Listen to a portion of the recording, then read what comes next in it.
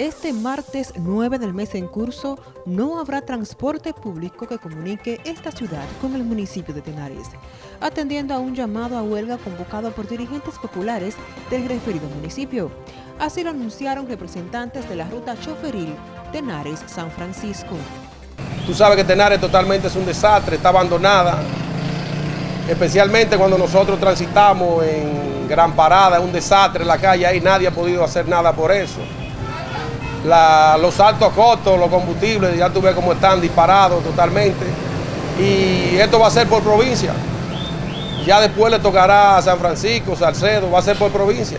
Hicieron un llamado a los convocantes para que se mantengan firmes ante la paralización, con la cual exigen acondicionamiento de calles y carreteras, entre otras reivindicaciones. Estamos apoyando el paro para mañana, no vamos a trabajar no hay trabajo San Francisco Macorís, Tenares Salcedo, ni para La Loma, ni Tenares Macorís. Esa zona totalmente está paralizada, no tenemos trabajo. Joanny Cordero, NTN, su noticiero regional.